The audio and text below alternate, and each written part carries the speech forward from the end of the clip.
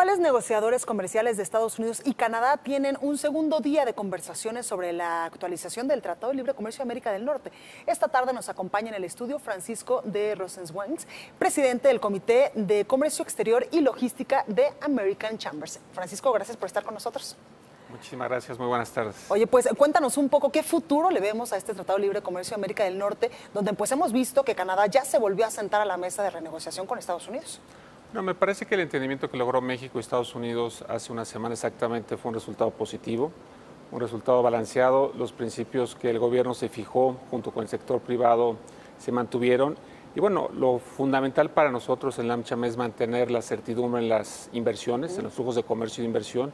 Y me parece que bueno, hay que estar atento efectivamente a que Canadá y Estados Unidos logren un acuerdo en los siguientes días para mantener la esencia trilateral del Acuerdo de Libre Comercio de América del Norte. Que eso sería lo positivo, pero si no, dirían, no pasa nada, nosotros ya hicimos nuestro trabajo. Bueno, el entendimiento eh, logrado con Estados Unidos es fundamental, es nuestro principal socio eh, comercial, es una economía a la que estamos altamente ligados. Sí, claro. Y evidentemente lo deseable es que sea una plataforma trilateral y eh, seguimos trabajando en ello. Más sin embargo, hay que señalar que bueno, el entendimiento con Estados Unidos y Canadá tendrá que ser algo que abone a lo que ya se negoció con Estados Unidos y que no implique alguna modificación a lo ya pactado. Entonces, nosotros somos optimistas en cuanto a que va a ser posible que alcancen un acuerdo en los siguientes días. Francisco, ¿fue dañino que en un primer momento México y Estados Unidos se sentaran en la mesa de esta renegociación y se excluyera un poco a Canadá? A mí me parece que no, porque ha sido un año muy intenso. Hay que recordar que estas negociaciones empezaron hace un año y pareciera que a algunos se nos olvida que hubo también negociaciones bilaterales entre Canadá y Estados Unidos por ahí del mes de abril y principios de mayo, es decir, hubo un par de rondas en donde probablemente no fue tan visible, pero también sucedió lo mismo. Entonces hubo temas como laboral, como automotriz, medio ambiente, inversión y temas en donde fueron avanzando ellos. Entonces, el diálogo que ha habido entre la Secretaría de Economía y los canadienses de manera informal durante las últimas semanas, aunado al trabajo abonado o realizado durante el año, me parece que hace pensar que las condiciones son favorables para encontrar un consenso trilateral. Oye, y también eh, quiero preguntarte, eh, México y Estados Unidos ya dieron pasos agigantados en este Tratado de Libre eh, Comercio. ¿Estos son benéficos para nuestro país? Hemos visto que poco a poco se han ido destrabando pues, varios temas importantes y también muy controversiales entre estas dos naciones. Es correcto. Mira, la discusión fue dominada por cuatro o cinco temas que se llaman tóxicos. Finalmente fue, fue posible cambiar la esencia de la cláusula de ocaso o sunset clause. Ahora hay un mecanismo que permite cada seis años revisar la conveniencia de mantener el acuerdo con una vigencia mínima de 16 años, lo cual para los flujos de inversión es fundamental. En el sector agroalimentario se mantuvo libre comercio, se mejoraron las condiciones para el intercambio comercial. En el sector automotriz se dio certeza sobre la posibilidad de las inversiones existentes, la capacidad actual y también hay, como llamaría el secretario Guajardo, una especie de seguro para que si el día de mañana Estados Unidos decide imponer aranceles nuevamente en manufacturas, podamos eh, proteger la capacidad exportadora al día de hoy.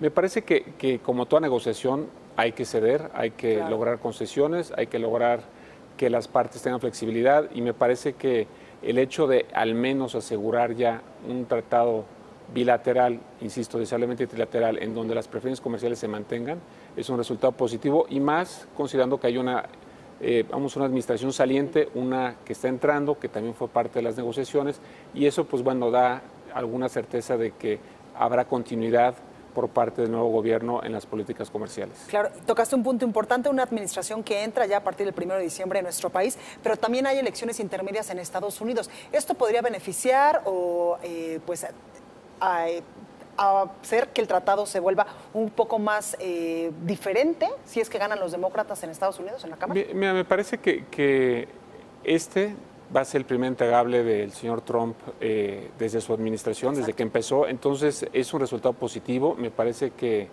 el señor eh, presidente de Estados Unidos puede sentirse satisfecho si logra un acuerdo trilateral. Será el primer entregable. Sus sectores productivos en Estados Unidos le han solicitado y casi exigido a gritos que mantenga el tratado. Entonces, de alguna manera ha ido logrando el sector privado a nivel de los tres países hacer más conciencia sobre la importancia de mantener la región integrada, de mantener el tratado, y pareciera que eso eh, es muy claro para él en cuanto a que es más conveniente mantener el tratado a buscar una salida del mismo. Entonces, eso nos llevó más de un año a lograrlo, pero pareciera que vamos por buena senda. Pero ¿por qué esta fijación del presidente Donald Trump de ver punto por punto y analizar punto por punto este tratado. ¿Hubiese sido totalmente diferente si lo hubiésemos llevado a cabo, por ejemplo, con el expresidente de Estados Unidos, Barack Obama? ¿Hubiera ya bueno, eh, con el expresidente Barack Obama eh, tuvimos la negociación del Acuerdo de Acción Transpacífico, el TPP, que, tuve el privilegio de, ser parte del equipo del secretario Guajardo en esa negociación. Y bueno, claramente el equipo de Barack Obama no es que fuera más sencillo, más suave, pero era más predecible. En el caso de Trump pareciera que él quiere tomar las decisiones, él quiere tener la última decisión, decidir la última milla. Y bueno, eso hace que tengas una negociación quizá entre ministros y luego esas decisiones tengan que ser de alguna forma ratificadas por el presidente Trump. Y eso me parece que ha hecho complicado porque en lugar de delegar en sus ministros, que son los responsables y los técnicos de estos temas en materia comercial, como que ha querido él también imponer ciertas directrices que, bueno, han cambiado la narrativa de comercio a nivel global y eso realmente pues también debo reconocer es algo preocupante. Francisco, por último, preguntarte, ¿tendremos tratado trilateral próximamente?